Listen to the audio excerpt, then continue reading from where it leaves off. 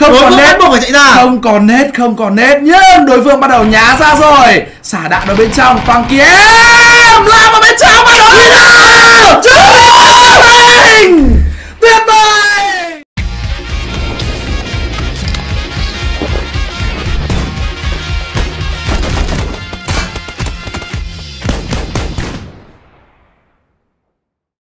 lại là một cái vòng mà tôi khẳng định là cực kỳ tuyệt vời cho chúng ta. Ở dưới thì rất là hẹp để có thể vào bò và Chính các team phải va nhau chúng ta có tầm nhìn ở cực kỳ nhiều khu vực vào trong vòng trắng. Mèo ú đang ở rất gần vòng. Vâng cần phải thực sự bình tĩnh. Đây là một tình huống mà chỉ có 9 người sống sót thôi Và chúng ta có tới 4 Đúng trong rồi. số đó. Một tình huống ném liệu đến từ Pino.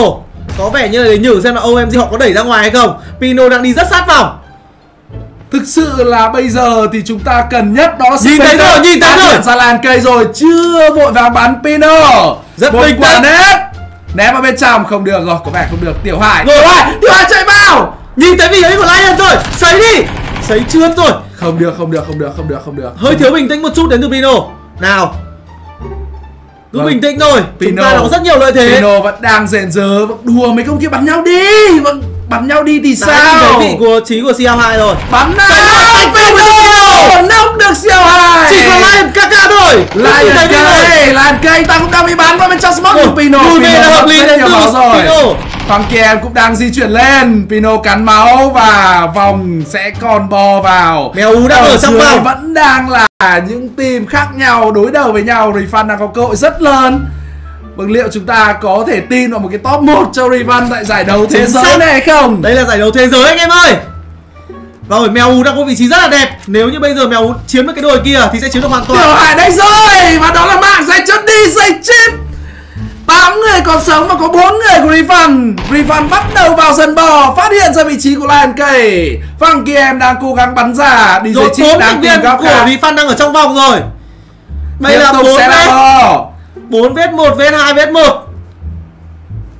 Rồi. 4 giây, 3 giây, 2 giây, 1 giây Vòng co vào. Và bây giờ thì Refund Gaming Họ đang có lợi thế rất lớn. Các team còn lại vẫn phải va nhau. Nine, Ghost Này sẽ va nhau với cả OMG chẳng Nhưng bây giờ tuyệt vời nhất là chúng ta lao lên và bắn tất cả. Có vẻ như là Nai họ đang ở dưới hầm.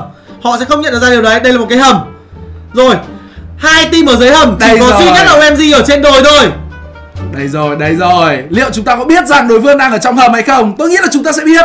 Chính xác. Một quả nét vào cửa hầm thì sao? Đây là một cái cửa hầm. Nếu như chúng ta giết được OMG thì chúng ta rất thoải mái. Đẩy Đây lên rồi. Lan Đây cây Lan cây, lan cây Lan cây! Chết rồi! Và chúng ta hai Chiếm được cửa hầm chạy Chúng ta chiếm được cái cửa hầm rồi. Đi ra khỏi hầm một tôi cái Vâng. Và Refund đang có cơ hội top 1 cực kỳ lớn. Này Họ chiếm được cái cửa hầm Các thành viên còn lại không thể nào mà lên được. Chúng ta cần Nai đẩy cẩn thận smoke với ra. Chúng ta cần cẩn thận với Mickcoy Vâng Mickcoy cùng với cả Nai ở bên trong hầm. Bây giờ Refund họ chỉ cần canh cửa cửa hầm thôi là họ sẽ thắng. Vâng, Đây sẽ là một trong những chiến tích vô cùng lịch sử nếu như Refund Gaming có được top 1 tại một giải đấu thế giới và lại là còn thể thức FPP nữa. Rồi, Trước những cái tên sừng sỏ thế giới. Mẹ Refund họ đang check xung quanh rồi. Có vẻ như họ đoán ra đối phương ở trong hầm chắc chắn là tôi đoán như này tỷ giày chị bị bắn hạ rồi nhưng Ghost Gaming dừng lại ở vị trí thứ ba. Chúng ta đoán được rồi đoán được đối phương trong hầm đối phương ở trong hầm rồi. Không chỉ còn nét liệu mà thôi. Không còn nét buộc phải chạy ra. Không còn nét không còn nét. Nhưng đối phương bắt đầu nhá ra rồi. Xả đạn ở bên trong phăng kia em làm ở bên trong mà đó tuyệt vời tuyệt vời!